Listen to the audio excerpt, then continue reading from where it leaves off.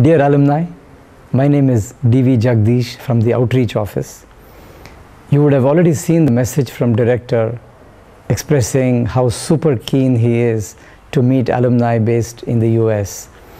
I'm very happy to let you all know that a lot of progress has since been made and thanks to the efforts of our US based alumni uh, like Uday Hegde, Anshu Jain and a group of volunteers who have taken the lead Everything is now ready to go. The dates are frozen. It is September the 18th in the East Coast in New Jersey, and the West Coast uh, is at the Bay Area on September 24th. Uh, the invitation cards would already be on the way if you have not already received them. Many of you have already registered for the event with your families, and I'm sure uh, some more are, are waiting for finalizing the plans to, to register. We welcome more and more of the alumni to register and make this a resounding, memorable event.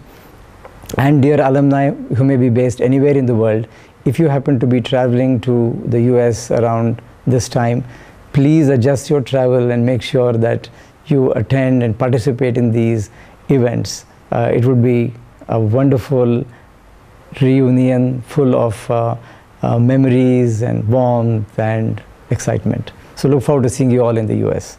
Thank you.